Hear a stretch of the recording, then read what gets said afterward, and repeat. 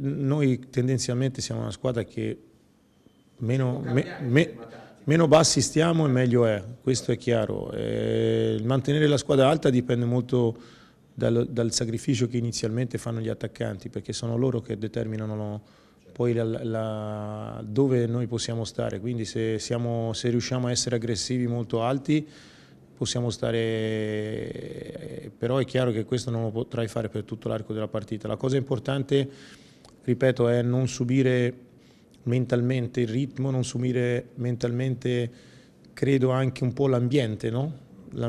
ecco, io eh, quello stadio lo conosco un po' perché eh, ci ho fatto anche il Viareggio con il settore giovanile, insomma ci ho giocato diverse volte ed è un campo che quando eh, c'è molto pubblico si infiamma. si infiamma, e quindi da, da parte nostra è importante eh, rimanere equilibrati, anche perché è una squadra che eh, ho guardato un po' per, nei numeri, è una squadra che spesso ha anche saputo rompere le partite in pochi minuti, no? basta vedere con Livorno, in, credo in eh, 5-6 minuti ha fatto due reti, no? quindi è importante proprio questo che ho detto io, avere l'atteggiamento convinto eh, pronti chiaramente a, a, disputare una partita di grande intensità. Eh, il fatto che noi siamo una squadra che comunque fuori casa ha fatto risultati importanti,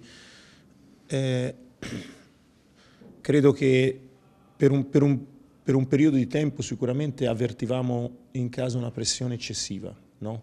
però questo adesso non c'è più. Credo che, anzi mi auguro che in questo finale di campionato si possa non avvertire questa differenza. Dobbiamo fare questa crescita, non avvertire questa differenza tra in casa e fuori.